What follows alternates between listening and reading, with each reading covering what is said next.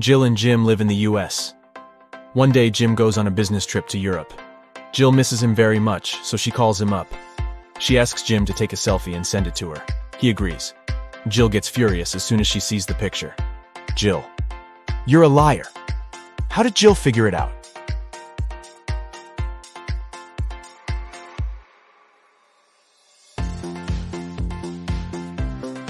Europe and the US are in different time zones, but in Jim's photo, it's noon.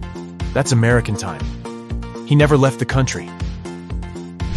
Can you find a zombie in this picture?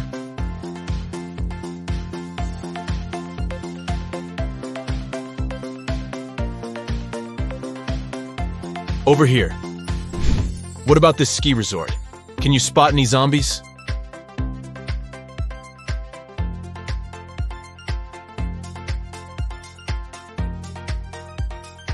Hello?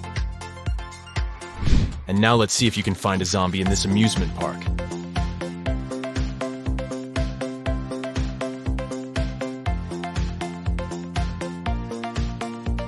It's hiding over here. The biggest bank in town was robbed last night. The local police investigate this case and find two suspects. They go to search their houses. The officer sees a clue and figures out who the criminal is. How did he guess?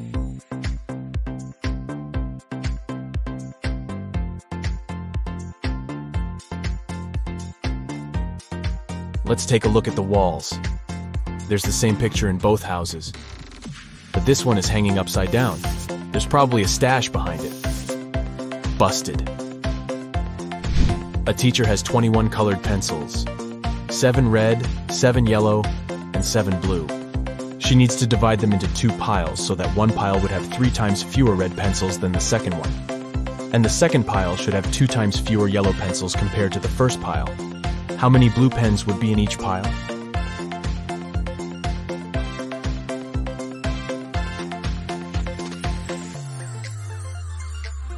Zero. The teacher had 21 pencils, not pens. Can you rearrange these crayons and make four triangles? To solve this mystery, you gotta think outside the box.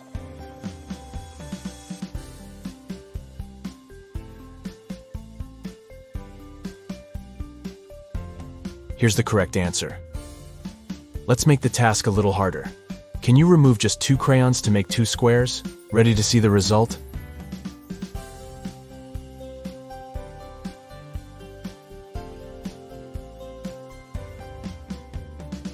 There you go. Donna goes to a supermarket and spots something weird. Two of these women are pregnant, but one of them just stole a watermelon. Can you guess who?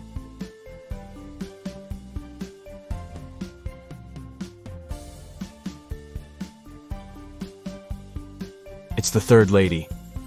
She's wearing high heels, not what pregnant women would wear to a grocery store. Kitty wakes up in a creepy basement. She needs to open this door to escape.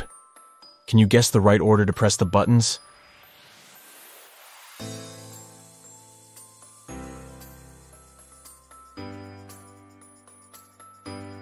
Kitty needs to make the word unlock from the first letters of each emoji.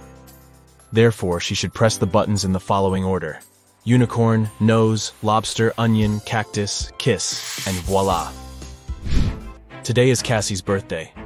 She brings a cake to work to celebrate with her colleagues. Stan, Gemma, and Rosie. Cassie unpacks the cake in the office kitchen. Suddenly, Granny calls, and Cassie goes outside to talk to her.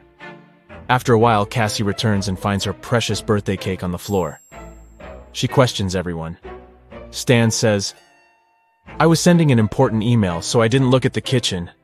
But I think it was Gemma. She's just pretending to be your friend. Gemma says, I went to the toilet to wash my hands. When I returned, the cake was already on the floor. And Rosie says, I don't know what happened. I went to the opposite side of the room to turn on the coffee machine. I made cappuccino for everyone. Who's lying?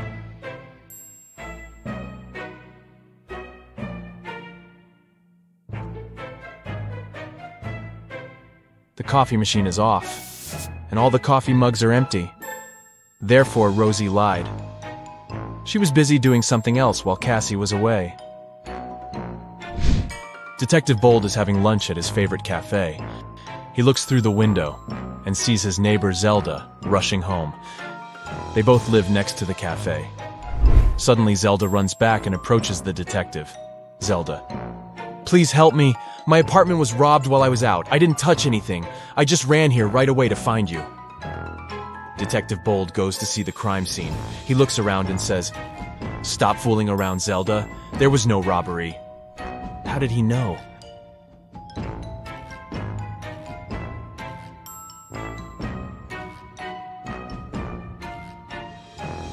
Take a look at this umbrella. Zelda carried it with her when she was rushing home, but she told the detective that she didn't touch anything at the crime scene. She just threw her stuff around the room to make it look like a robbery.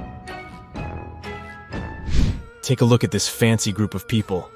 One of them is a real vampire. Can you guess who?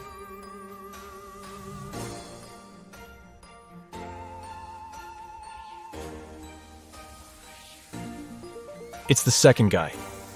The first guy struggles with drinking this reddish beverage. The lady is just wearing a cosplay costume. And the guy on the right is taking a selfie, which means he shows up on camera. Therefore, he's a human being. Jeff calls the police early in the morning. Jeff. My neighbor cut down a tree on my car. A policeman arrives soon. Policeman. What happened? Jeff. My neighbor and I had a quarrel last night. When I was ready to go to bed, I saw him standing in front of my car. In the morning, I went out to drive to work and saw this. My car is pretty old. But he still has to pay compensation for the damage. The policeman questions Jeff's neighbor. He says, Jeff is a bit weird. He's always trying to start a quarrel for no reason. I didn't touch the car. I was sleeping all night long. The policeman examines the car and immediately realizes which of the neighbors was lying. Who cut the tree down? Can you guess?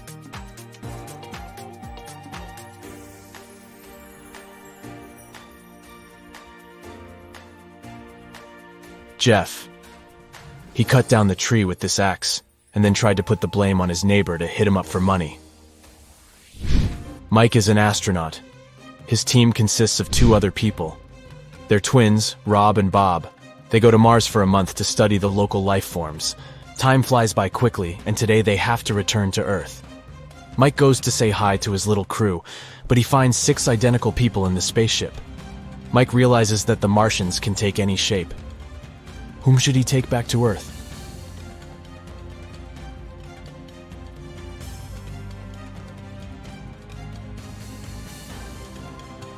This astronaut has three fingers, this guy's hair color is different. This impostor has forgotten to put on human ears. And this guy has different eye color. So the real Bob and Rob are over here. What's wrong here?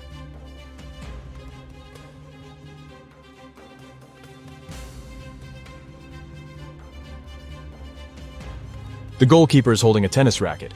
Also, why do they need two hockey pucks? Shelly downloads a dating app hoping to find new love. She likes several guys. They begin to chat and share some selfies. All three guys claim to be single and living alone, but only one of them is telling the truth. Can you guess who?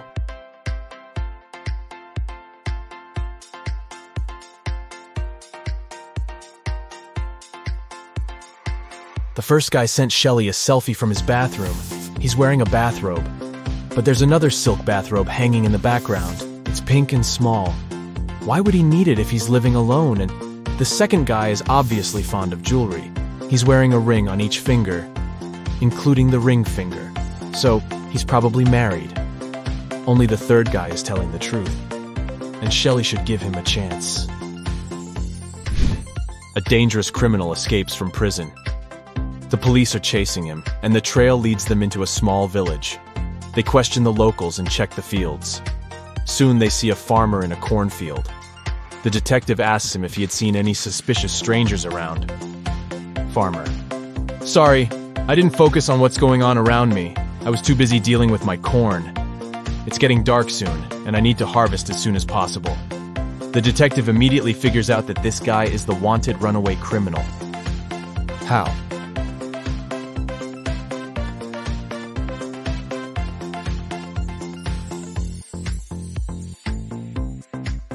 Corn is not harvested like this, so he can't be a real farmer. Can you see any odd details here?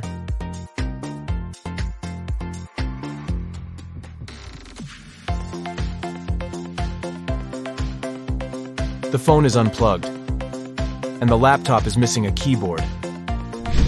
Can you spot anything odd?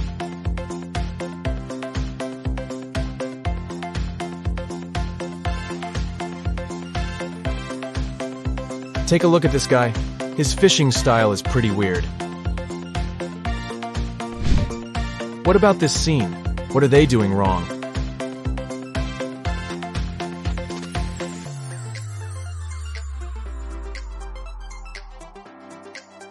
This lady is skating on the pavement. That's it for today. So hey, if you pacified your curiosity, then give the video a like and share it with your friends. Or if you want more, just click on these videos and stay on the bright side.